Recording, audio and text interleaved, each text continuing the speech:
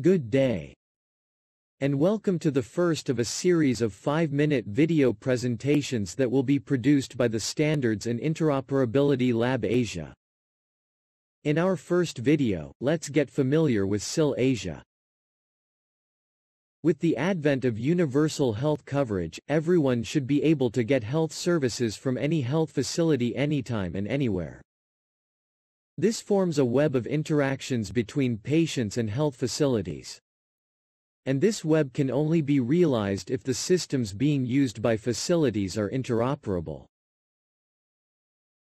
Interoperability is a vital tool to have universal health coverage. The Asia e-Health Information Network or AHIN has been in the forefront of ICT use for healthcare in the Asia-Pacific region. AHIN is an organization of digital health experts, practitioners, ministries of health and IT groups. It is a peer learning network with the aim of improving the e-health capacities of countries in the region. AHIN promotes the use of the GAPS framework. The GAPS framework indicates that the foundational components of successful digital health are governance, architecture, program management, and standards and interoperability. For standards and interoperability, one of the efforts of AHIN is to develop an interoperability lab similar to the MEDIC Lab or the Jembi Lab. Hence, together with the Asian Development Bank, AHIN formed the Standards and Interoperability Lab Asia. SIL Asia was established to be the reference health interoperability lab in the region. As an interoperability lab, SIL Asia is a place where technologies can be tested, and there will be a healthy discussion of ideas. It is a safe space where government, industry and academe can converge and discuss matters on digital health and interoperability. What are the functions of an interoperability laboratory? For SIL Asia, we refer to our functions as the four C's. Create capacity development, collaborations, and community development. Create. As its primary role, SIL Asia is tasked to create an ecosystem where interoperability can flourish. SIL Asia is working on knowledge materials, starter toolkits, briefers and publications and prototypes that promote standards and interoperability. The lab is regularly creating briefers, blogs, and publications with the goal of increasing awareness to standards and interoperability in the region. We have also been testing technologies and how they can be used to improve digital health integration. Capacity Development SIL Asia is providing capacity development across the region, it has organized workshops and deep dives on standards and interoperability use.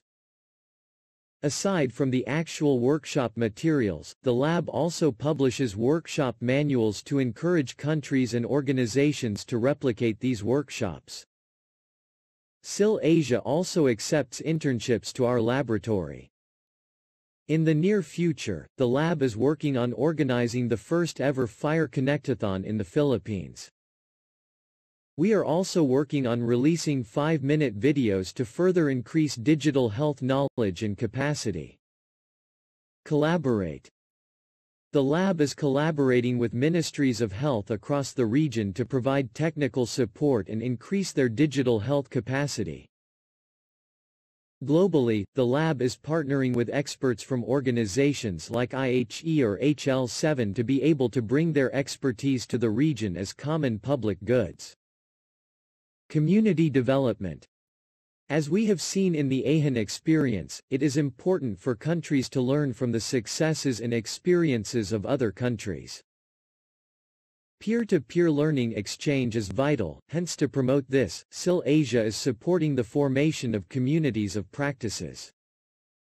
So far, the lab is actively supporting the formation of an HL7 FHIR community of practice in the region. We are also working with AHIN on the formation of the community of interoperability labs. Since our inception three years ago, the lab has already provided support to over a dozen countries across Asia-Pacific. The support includes technical assistance, capacity development, workshops and peer-to-peer -peer knowledge exchange. The lab is also working on providing support for the establishment of interoperability laboratories on some countries across the region. By the third quarter of this year, we are targeting to expand our services and partner with countries at the Central Asia region. So that is SIL Asia for you. Hopefully you learned something about the lab, and we are looking forward to collaborate with you. For more information you may visit the lab website at www.sil-asia.org. You may also email our technical director, Philip, at phil at sil-asia.org.